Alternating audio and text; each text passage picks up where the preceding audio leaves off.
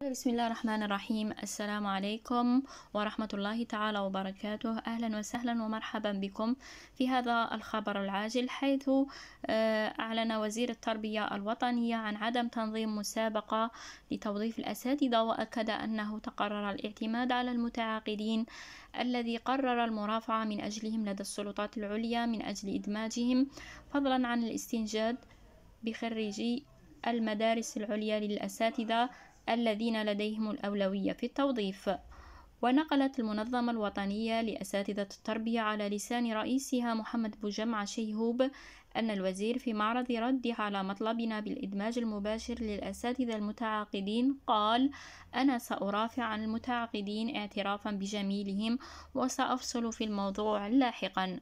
وبناء على تقرير حول لقاء وزارة التربية الوطنية مع نقابات القطاع صادر عن المجلس الوطني المستقل لمستخدمي التدريس للقطاع ثلاثي الأطوار للتربية فإنه بدعوة من وزارة التربية الوطنية وفي إطار التحضيرات تم عقد لقاء مع نقابات قطاع التربية الوطنية بمقر الوزارة بالمرادية تحت إشراف السيد وزير التربية الوطنية وبحضور الأمين العام ورئيس الديوان وإطارات من وزارة التربية الوطنية تخللتها كلمة للسيد وزير التربية أشاد أشار فيها عفوا إلى أهم الاستعدادات التي تقوم بها وزارته لتحضير جيد بداية من توفير كل متطلبات إنجاح تطبيق المخططات الاستثنائية وتعهد بتخفيف الضغط على الأساتذة وهذا من إجل من خلال توظيف خريجي المدارس العليا وإمكانية اللجوء إلى الأساتذة المتعاقدين.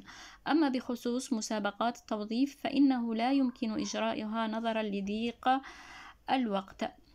وبعدها فسح المجال لتدخلات ممثلي النقابات والتي بدورها قدمت جملة من الاقتراحات والحلول لتفادي الاضطرابات والاحتجاجات.